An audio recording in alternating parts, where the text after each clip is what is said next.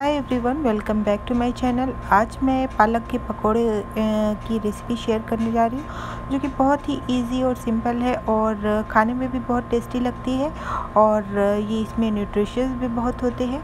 तो चलिए देख लेते हैं कि कैसे ये बनती है। तो उसके लिए हमने चार दरमियानी साइज़ की प्याज कट कर ली है।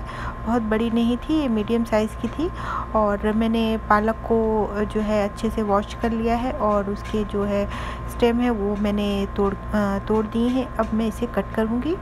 और आप अपने हिसाब से जो है कट कर सकते हैं, बारीक और बहुत बड़े जैसे भी आप चाहें, लेकिन ये थोड़ा जैसे मैं कट कर रही हूँ, उस हिसाब से अगर कट हो तो जो है अच्छे होते हैं। तो ये मैंने सारे कट कर लिए हैं और कट करने के बाद इसमें मैं ज़्यादा कुछ ऐड नहीं करूँगी। इसमें मैंने लहसुन और ग्रीन चिली और ज़ीरा का ज़ीरा को मैंने इसमें ऐड किया है और उसको पेस्ट बना लिया है।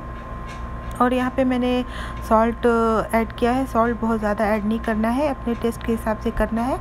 लेकिन क्योंकि पालक में बहुत जो है थोड़ा सा ये सॉल्टी होता है तो इसलिए हमें हिसाब से करना है और बेसन में जो है वन बाय वन जो है धीरे धीरे इसमें ऐड कर रही हूँ। एक साथ नहीं ऐड करेंगे।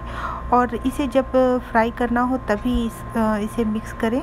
अदरवाइज़ प्याज और पालक दोनों ही पानी छोड़ देंगे और नमक की वजह से ये पानी छोड़ देते हैं। इसलिए अब मैं इसे मिक्स करके इंस्टेंट फ्राई करूँगी।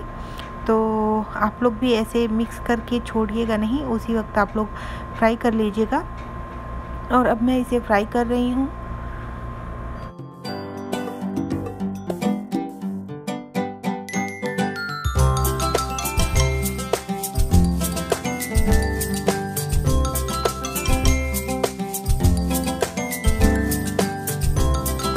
तो ये देखिए, मेरा हेल्दी पालक पकौड़ा बिल्कुल रेडी है और आप लोग भी अपने इफ्तार में इसे शामिल कर सकते हैं और ये क्रंची क्रिस्पी और टेस्टी है।